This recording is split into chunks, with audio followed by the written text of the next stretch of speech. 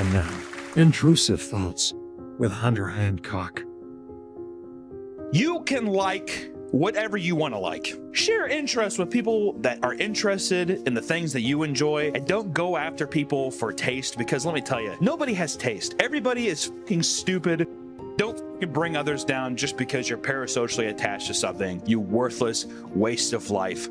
Go fuck yourself. I hate women. That's the end of the deal.